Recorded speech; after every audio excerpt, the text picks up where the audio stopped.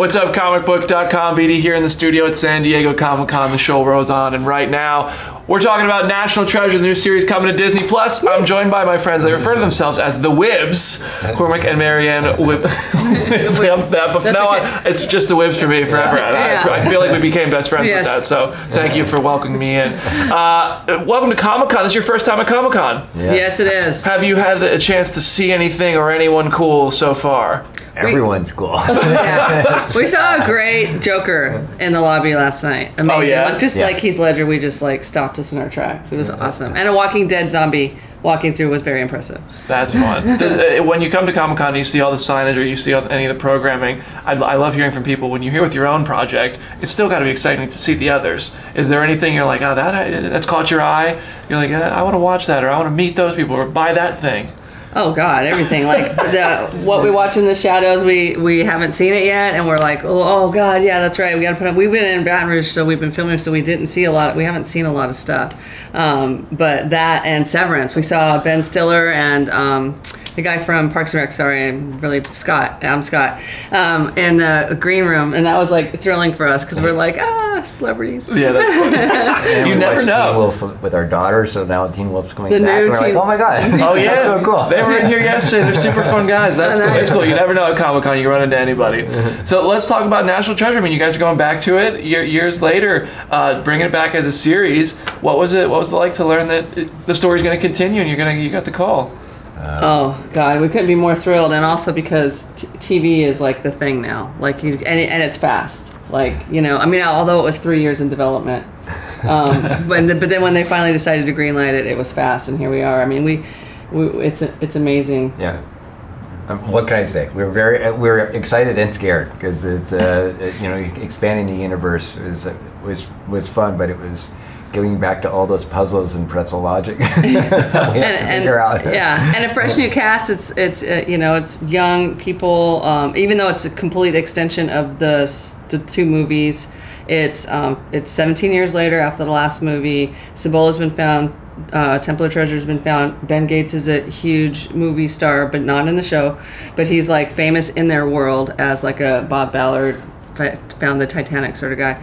And Riley Poole's written two more books, and he has a podcast. So we've like definitely continued like what we could um, from that from that. And then Peter Sadusky, as you know, Harvey Keitel's coming back, and he's you know 17 years older and has a grandson now. So we tried to like just expand from the actual universe. That's gonna be cool to see it all connect. I, I would love to hear like when you were when you guys were all talking about how this could connect to the films that that were almost 20 years ago. Uh, do you, did you think about like we want to welcome new people into a National Treasure story, but also we want to reward the people who have seen the movies, which is probably all of us by now. But do you, do you think about those things? oh God, it keeps us up at night. Yeah. I mean, we really yeah. I don't like. I, I, I- we're like I- Captain and Tennille. I, talk too I'm much, and like- he's I'm very always quiet. amazed by you, so keep going. Um, but yeah, no, we wanted uh, we wanted to bring back everyone we could. Like we talked about bringing back everyone. Um, it- you know, the the logistics of that is never like uh, Nick Cage is too busy, and uh, but then we also wanted to to do a female centric uh, treasure hunting story. So we really wanted to go uh, younger also. Um, people who are just that's why the edge of history is kind of a double meaning. It's not only like this treasure is the edge of history, but it's also these kids are on the. I hate calling them kids because they're grown ups, but um, they're so much younger than we are. Um, but they're um, they're on the edge of like, what are we going to be in this world? You know, like that Yeah. age of like, what's our history? What are we going to be when we you know grow up? What are we going to leave behind, if anything? Um, so we really wanted to do that. We have a female bad guy, which is Catherine Zeta-Jones, which is great to add to the pantheon of uh, uh, bad guys, uh, Ed Harris and Sean Bean in the universe, which we love. She's amazing. She was our first choice. We were so lucky to get her. And then also the treasure story is female centric too. Like, who hid the treasure? Why did they hide it? There's a very there's some very interesting characters in the past that we want people to learn about that are really really cool. Oh, Yeah. Okay, cool. I I actually wanted to talk about Catherine Zeta-Jones playing a villain here, Billie Pearce. Uh, can you, what can you tell me about that? And I, I've, I've tried to find everything I can. What can you tell me about the character uh, and, and how she what she brought to the to the set? Keep my- going. He's just making- It's one of those. Oh, we, we, we, 'cause we- the treasure is always about uh, something personal. It's never about finding and getting Money. rich. So it's always about for our our lead. It's about family, And it's the same with, with Billie Pearce. There's a personal reason why she wants to find this treasure. And um, it's, uh, she's, uh, Catherine amazed us. I mean, she's such a movie star, and we were so lucky to have her. And every day on the set, Marianne and I would just go, "Oh my God, look what She's she's so doing. good. What's she doing with our she- our yeah. dialogue? She's making it. She elevates Elevate, everything. Yeah. Yeah, and she's a she's a crypto billionaire. I don't know if that's in the that's been like an like that's who she is. She's yeah, like she has her own plane and she's got this like staff that's really interesting. And you're like, what is her world? And so we had had a lot of fun with her. And she's also she plays that timeless sophistication. But and we said in somewhere that I don't know if we said it in the panel, but she also she is still that girl from Mask of Zorro, where you feel like the adventure spirit in her, like that. She brings so many levels. So we were very lucky Oh, to that's get gonna her. be fun. That's gonna be fun. Justin's back as Riley. I'd love to hear about where we, where that picks up. Can you say uh, what? How much can you say of anything? Yeah, we can't say why he appears, but we can say when he appears in the show, he he is he ends up. He, Oren is a big fan. I think we that's got spoiled on the panel, which is fine. Oren, someone asked, Oren, do you had you read Bradley Poole's books? And uh, Antonio Cipriano said, yeah, yes. As a matter of fact, I'm a huge fan. I listen to his podcast, and I'm all so uh, that got leaked. That which is fine because it, it is actually um, a big part of the show, and he and so that our our treasure hunters go to him for help.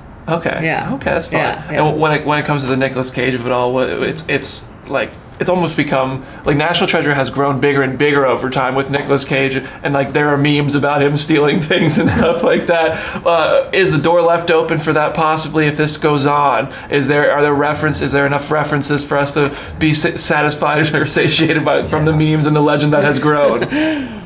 Yes, I mean we want nothing more than to um, to get him in the show, and um, uh, the show talks. You know, we talk about him all the time. He he is still a legend in our universe as he should be, and in life we just Nicolas Cage was. Our, I don't know if we ever said this. He was our first choice for uh, Ben Gates from the beginning when Cormac and I were first writing the National Treasure scripts. We were like, he's the perfect combination of nerd and like adventure guy. So Hey, he's, yeah, He's, he's having a crazy resurgence too right I now. so, you know, know, I know, so great, Yeah, yeah. that's cool. It's cool to see it. And it, I also the last thing I want to talk about is how this is set. Like you know, it's it's been so many years since the movies. How does today's world kind of factor into thievery? It's a there's there is a the history has changed. The way we look at history has changed. How do the characters kind of incorporate the today's world into their journey now? You ask a very good question, and Cormac has a very good answer to the how we look at history be- from the point of view of your father, who was an Oh, immigrant. we're- I yeah. think he's talking about the technology that we're using now. Oh, with- or I thought he was talking uh, about the point of view of history. The It's point good. of You how we view history has changed. How we use technology to, to view Like, it. because our, our Tasha character can really tap into the technology of history. But uh, in, in the making of this, my dad, who's not uh, an American citizen, he was born in Ireland, and he went there and he lived there until like third grade, and then he moved to England. And he had learned Irish history to third grade. Then he moves to England and he learns English history. And he realizes, wait a minute, the Irish are the bad guys and the English are the good guys. And then he, he moved to the United States and he was like, oh, I see. So the English are the bad guys over here and the Americans are the good guys. So he, he was always telling us, well, history is just whoever's telling the history.